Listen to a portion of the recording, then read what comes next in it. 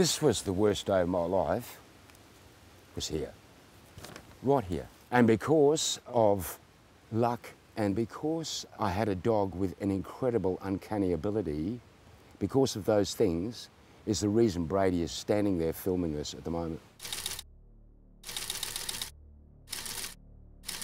What happened here was an infantry patrol from my battalion was coming up this track, and it was a bit narrower, a bit narrower, a bit narrower. And um, they had a contact with Viet Cong.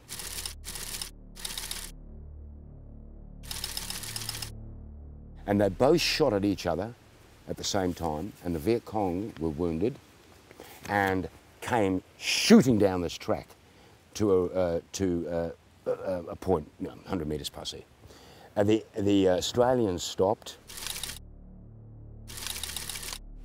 and they could see that there was blood everywhere, so somebody was wounded. So the commander, the platoon commander of that platoon, which was Delta Company, 12th Platoon, called task force and said, I want you to send trackers in. We're going to follow them. I was back at Nui Dat. I had got back there after a really bad episode. I hadn't got out of my dirty clothes. Everything was lying on the bed at Nui Dat, and this yell came down, trackers, you're out. I threw my equipment on, got my rifle, and Les Lambert, he was, the, he was my friend and he was the guy that was actually going to protect me when we started tracking. He said, we've got to get going. We had to run up the road and get on the Land Rover.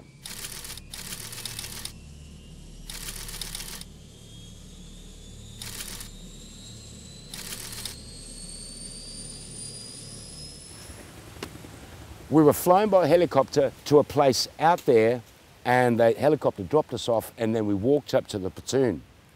And the platoon commander came out to me and he said, we've got a good track for you here. I'm going to tell you when to start and we will follow you. And he took me to the spot where the contact was and there's blood on the ground, right? And I looked at it and I looked up and I realised I was going to go down a trail, a track. When I looked at that, I felt I was sucking old pennies in my mouth. I got this taste in my mouth. And um, I think really that's what you call a taste of fear. It was like sucking on old pennies or coins. I could feel this taste going through my mouth. And I said, yeah, right, okay, right. Les looked at me and he said, well, hook up. I put the harness on the dog. Les got in behind me, looking at the trees. Behind Les was a guy called uh, Shelbourne. He was the forward scout of that platoon. Behind him was the platoon commander, the lieutenant.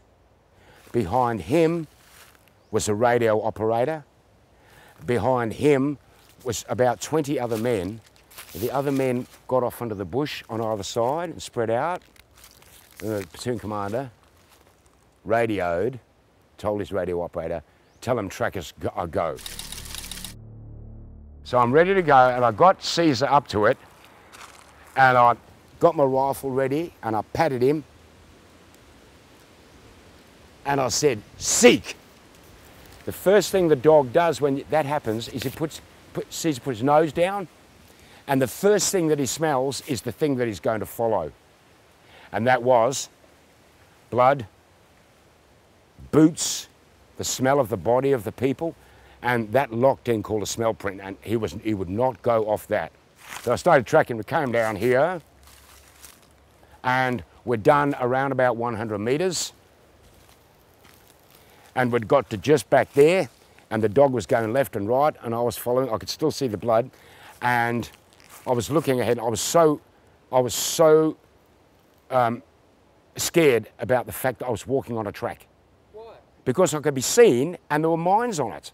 And if somebody's down that end and they see us, they fire down the track, they're going to hit six people all at once, right? We walked on, walked on. Caesar came up to a point 10 to 20 feet behind you on the end of the 20 foot lead. And he put his head down and up, and then he did something he had never done before. He walked back to me.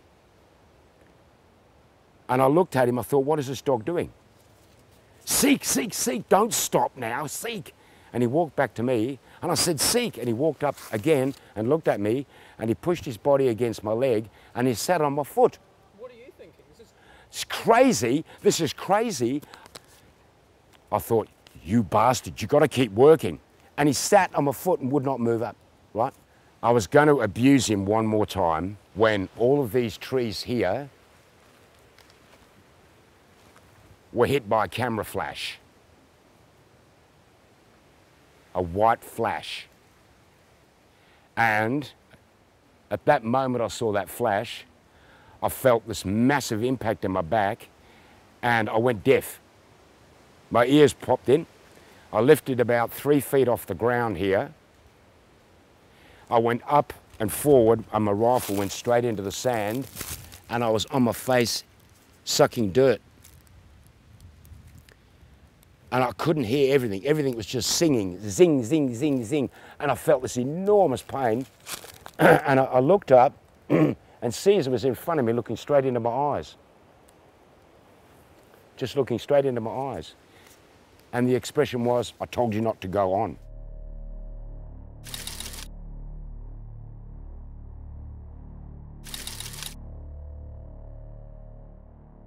I felt this wetness shooting down my legs, and I thought, oh, Jesus, I've been hit.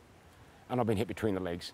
Shoved my hand straight down inside my pants to check everything, and I realised that I'd actually pissed myself. About a moment later, I could feel bits of branch and leaf sort of coming down from everywhere here, and Les, my protector, was lying over there, and I turned around and said, what? What's happened? What's happened? What's happened? And the scout was yelling something to him.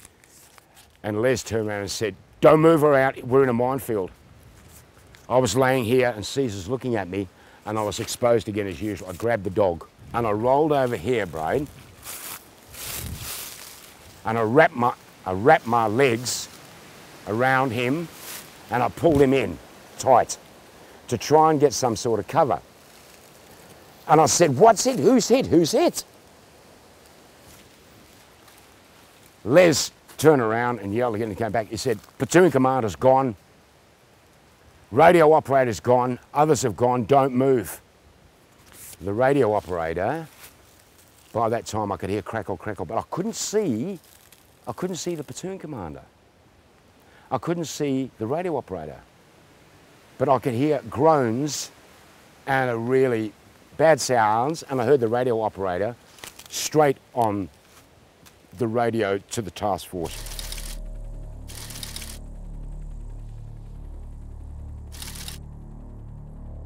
And I just lay there and I could smell this stuff in the air which was explosive.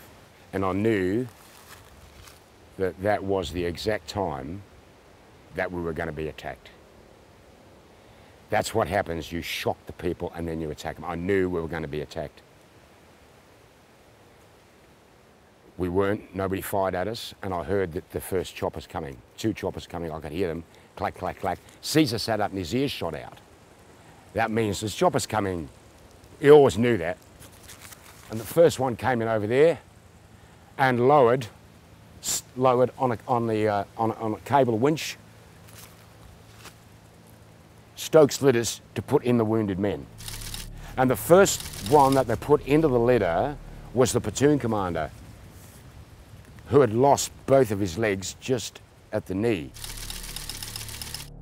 Then they, they put in others who were wounded, and I didn't know who they were because they were hit in the bush from the flying shrapnel. I, I waited, and they, they, they, started to winch him up, and I said to Shelbourne, the scout, What's bloody happened? And Shelbourne looked at me, and he looked at the dog. And he said, Hang on, hang on, hang on, wait, wait. And this guy hit the ground behind me, and it was a, an engineer. And he was standing where the explosion was, and he came up to me and he said, Didn't I see you yesterday? I said, Yeah. He said, um, There's a mine behind us, just hang on a minute. And he and his mate just walked up to there and they got down on their hands and knees and they were pushing the dirt around. And he stood up again with a minesweeper and came back to me and he said, Where did your dog go? I said, oh, up to about there. He said, is that as far as he went? I said, yes. He said, mate, mate, there's a 250 pound unexploded bomb in the middle of the track and there's four M16 mines attached to it.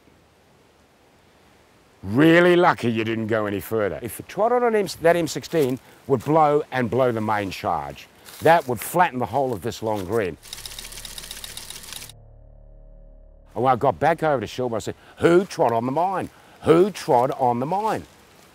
And they said, Lieutenant, whose name I will not mention, trod on the mine. So I got back, we went back, and there was the hole in the ground. And the engineer looked at me and looked at the hole in the ground. He says, what's happened? Your dog's walked over it. You've walked over it. Your coverman's walked over it. Shelbourne's walked over it. The platoon commander stepped on it. And it blew. Okay, so how come I then got holes all over me? So the engineer said, because when it was put in the ground, it was put in slightly sideways, or it had been in for a while and had subsided. So when it exploded, it jumped when he trod on it. It jumped and exploded in 360 degrees. The shrapnel went out. It took his legs. The shrapnel this way went up. The shrapnel that way went down there. So it went over the top of me. The light flash in the trees was the detonation. I was in a state of shock. I had no idea what happened. I had no idea what was going on. And the first thing that I felt after that was explained to me was an incredible sense of guilt. What I've done is I've, lent, I've, I've took 30 men into a minefield. I didn't, of course. I was tracking an enemy, and the enemy ran straight down the track. Dog followed, Peter followed, those behind me followed. I missed it, and the guy four behind me took it. Caesar was tracking. He was following a scent in the air and he was following stuff on the ground. That dog was not trained to detect mines, never had been. Wasn't a mine dog, it was a tracking dog. But something here, a concentration of smell combined with an explosive smell, combined with it, uh, the smell of Viet Cong, alerted him.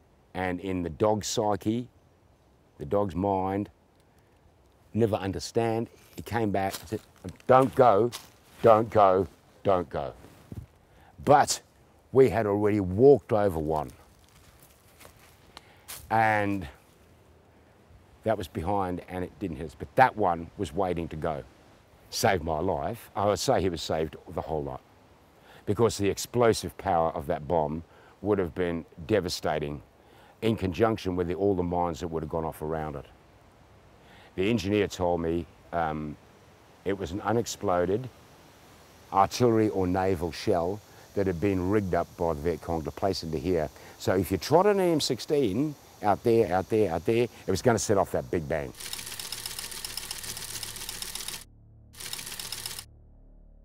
That, that M16 mine that was down there that hit the platoon commander was not associated with these down here. It had been placed earlier or had been placed immediately that, that we started tracking. They dug it into the ground straight away. Hard to know because you couldn't tell from all the damage and the rest of it. The platoon commander lost his legs and went back to Australia, of course, and four other men were badly wounded by shrapnel, including the radio operator that caught it down the side of his face. My mate Les was not hit. The scout was flat on the ground. He wasn't hit, but the damage was caused and the bits that went out through those trees and hit those other men. Later on in the day, walked down to the end of that track, got on the helicopters and flew out. Went back and I was filled with guilt, filled with guilt. But the guys from the Delta Company said, mate, so good, terrific, well done, mate. But I was filled with guilt.